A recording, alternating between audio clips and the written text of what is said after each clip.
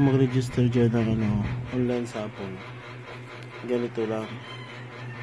Humanap kayo ng kakilala na agent para mas mabilis at safe yung pera nyo. Kat katulad nito, mid and kids na world, ah, legit na agent yan. Magpasend na kayo ng link, tapos yan, ikik- ikiklik nyo lang, tapos mag-register na kayo. Ganyan lang. Tap yung username nyo. Example, I love melody.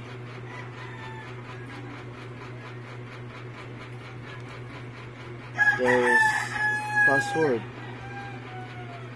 Dapat wag mo kalimutan yung password nyo kasi pag nakalimutan mo, hindi na yan ano, hindi yan mabubuksan, sayang yung pera nyo. Yan. Kahit anong pangalan lagay nyo, pwede naman.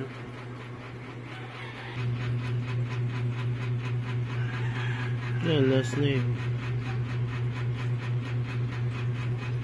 Yan, kahit ano. Mas, mas maganda yung number ko talaga. Yung Facebook, kahit anong lagay nyo ng Facebook. Ang importante yung password at username. Kasi yan. hi- hihintayin nyo lang na na i-approve sa agent nyo. Pagkatapos ma-approve ng agent nyo, balik, balik lang kayo sa link.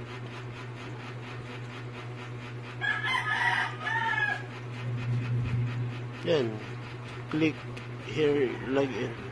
Yan, ilalagay nyo lang yung username nyo at saka password.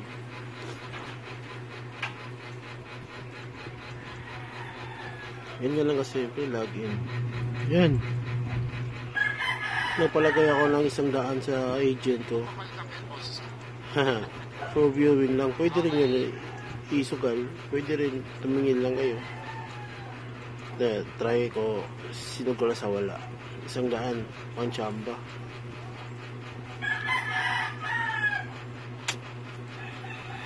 Yun lang, ganun lang kasi. Ako, galing dyan sa Peron. Sa wala naman ay kahit Sana swertehin. Yun,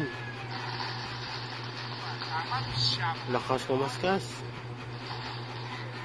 Ayun, panalo. Patay na yung meron. Sana manalo tuloy-tuloy. Tapos todas na report. Ito yun, yung isang daan ko panalo ng 97. Wala wins tayo, Jacob Dorset. Panalo tayo mga chong. Mga Wala wins. Yan. Ganyan lang kasimple. Salamat mga boss.